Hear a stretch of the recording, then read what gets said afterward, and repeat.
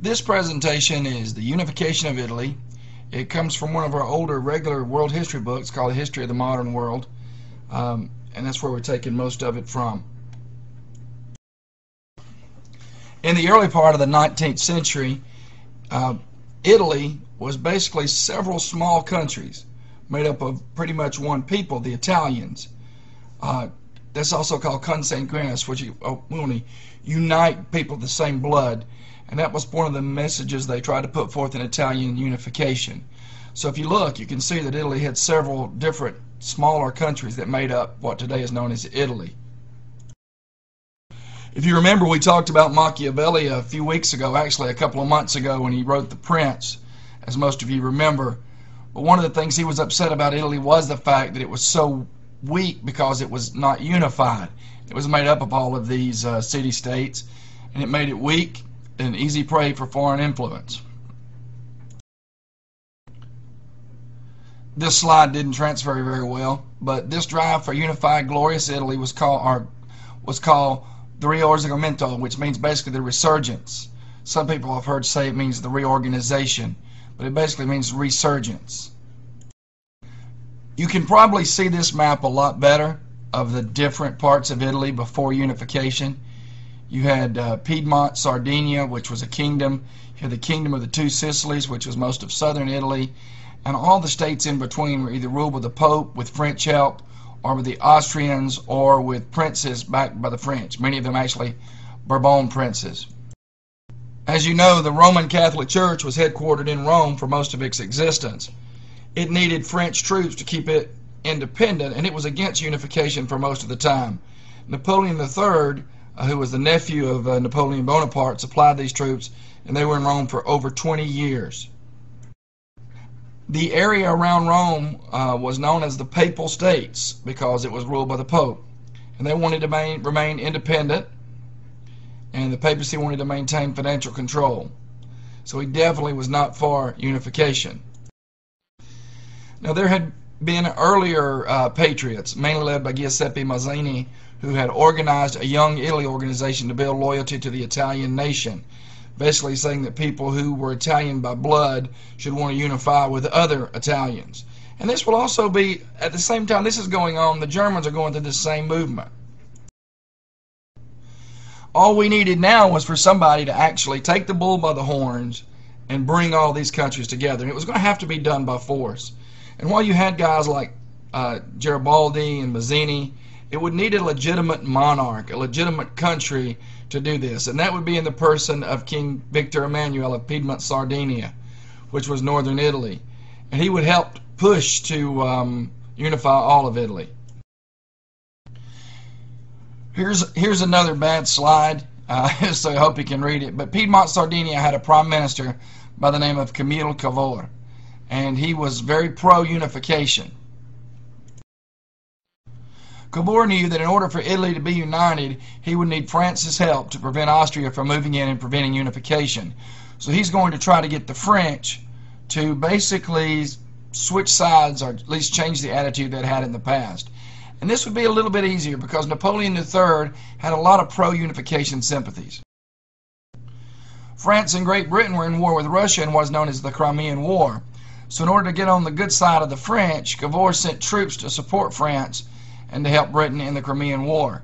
Therefore, they'll be able to help him when time comes. Now you're going to have a situation where Napoleon is going to agree to support Piedmont against Austria. Now again, this is Piedmont, Sardinia. But Napoleon's also going to show his true colors in this deal. Now again, I want to remind you we're talking about Napoleon III, not Napoleon Bonaparte. Now that Cavour knew that he had French help, he started a war against Austria and France and Piedmont went to war against the Austrian Empire.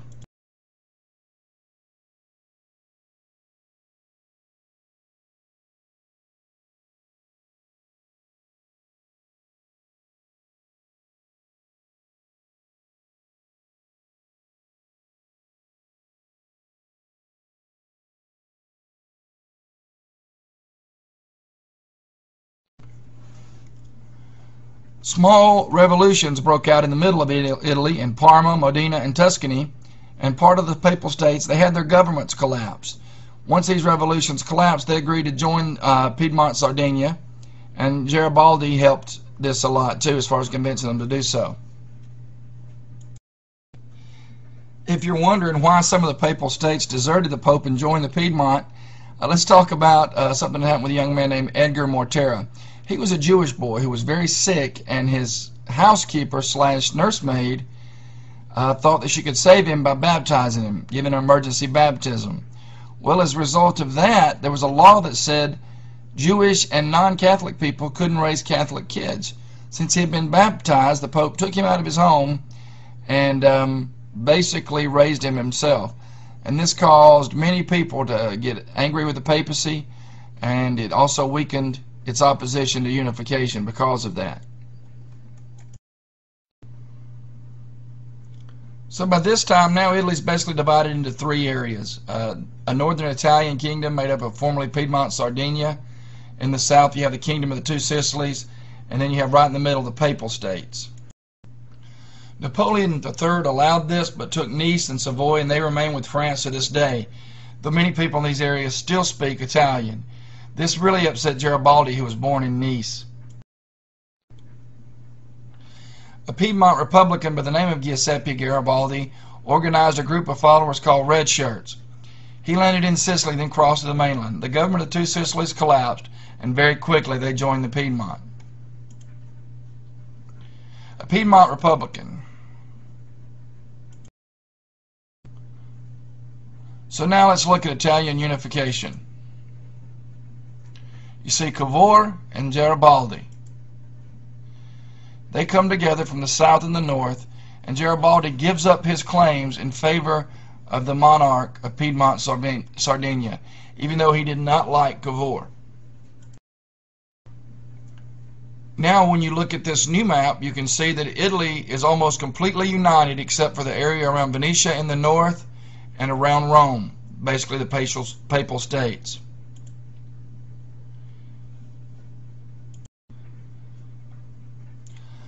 Otto von Bismarck of Prussia convinced the Venetians to join with him to defeat, help defeat Austria in their brief war with Austria, and as a result, Venetia was given independence and joined the Italian Republic, or the, excuse me, the Kingdom of Italy.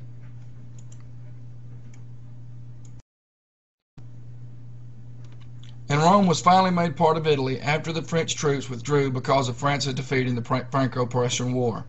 As a result of this, the Pope basically became a prisoner within the Vatican. Now, when I mean prisoner, he was free to come and go, but he chose to stay in Vatican as protest against the seizure of the Papal States. And now Italy's unification was complete. What started as a peninsula made up of several governments had become one, the, Repub the um, Kingdom of Italy. Without this unification, many Italian foods would not have been possible because the country would have been too poor to export them. Thought you guys would get a kick out of that. Now we're going to take some time and talk about some key players in the Italian Revolution or the unification of Italy. These are the key individuals. The first person we'll talk about is Giuseppe Mazzini. As you can see, he was a very serious looking individual who really wanted to um, turn Italy into a republic. He studied to be a lawyer, became a member of the Carbonari, which was a revolutionary movement. He led failed attempts at revolution during the 1830s, and he founded a group known as Young Italy. He was elected to the Triumvirate in 1849, and he criticized the new Italian state after 1870, mainly because it was a monarchy.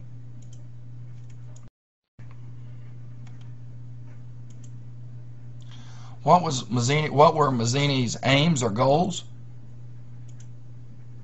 He encouraged people to see themselves as part of a nation. He wanted a democratic, independent Italian republic, not a monarchy. Had the he had the concept of a third Rome, which would be a civilizing influence on the world.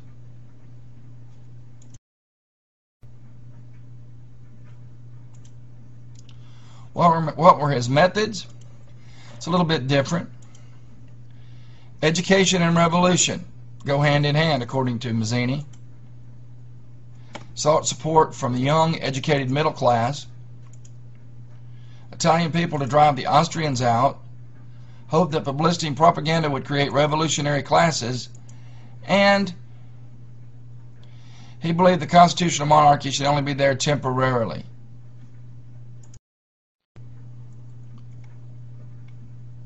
How big of an impact did Mazzini have on the unification of Italy? Well, he gave encouragement to Italian patriotism. He presented a new view of Italy. He inspired Garibaldi to join the movement, even though they didn't like each other that much. He helped to win international publicity for Italian freedom, and he single-handedly led the defense of Rome in 1849, even though it was a heroic failure and the French defeated them. But his actions, he put pressure on Cavour and others to act more positively, though. They were kind of shameful that this guy, who wasn't even a noble, was able to win this many people over. How successful was Mazzini? He had little practical experience. He overestimated his level of support. He ignored the problems of the peasants. Remember, he was mainly a middle class guy. His support was limited, and he used the Carbonari methods, which are almost terroristic. All of his plots failed. Some middle class were actually alienated by his revolutionaryism, and he made no attempt to win support from peasants and town workers. But he was successful in, though, that he brought attention to the movement.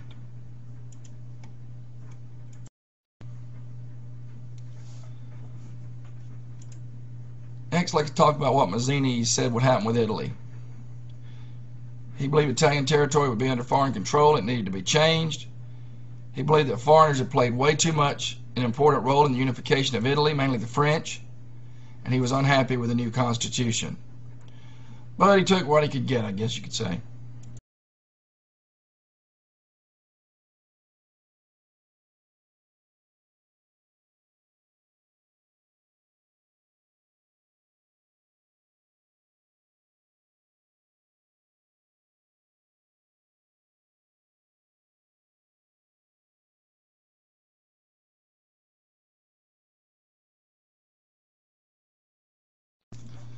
He had a very ambitious foreign policy. Aware of the shortcomings of the Italia farà da sé, he aimed to move Austrians out of Lombardy and Venetia. As Prime Minister, he had considerable control over foreign policy, and when the Crimean War broke out between Britain and Fr when Britain and France took on Russia, he agreed to help the French and the British. He sent 15,000 15, troops. Excuse me. Cavour in the Crimean War. There was a lot of doubt on his motivation, but mainly he just wanted to get support from Great Britain and France. His troops played only a minor role, but did win respect and gratitude from the Allies. And the Congress of Paris dealt with the peace negotiations, though Cavour was not directly involved in the talks. As a result of this, he gained foreign support through um, diplomacy and helping the, the British and the French in the Crimean War and more people wanted to um, have an independent and unified Italy. He had an important link also with a society called the National Society. And many of them began to see Piedmont as the best chance for unification. Cavour now looked to France for help against Austria.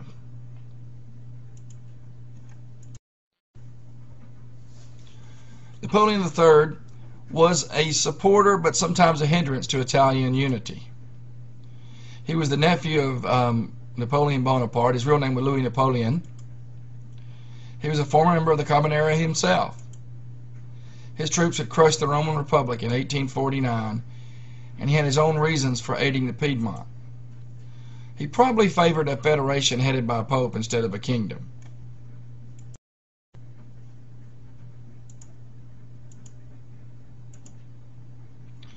In January 1848, an Italian named Felice Orsini attempted to assassinate Napoleon III, and he hoped that this would aid Italian unity. It actually um, spurred Napoleon into action. An agreement was made called the Compact of Plombières. War with Austria. 1859, he started a war against Austria, and the French, with limited help from Piedmont, won two, two closely fought victories. Austria was on the brink of surrender, then all of a sudden Napoleon pulled out of the war and signed the Truce of Villafranca. Cavour was furious and resigned as prime minister.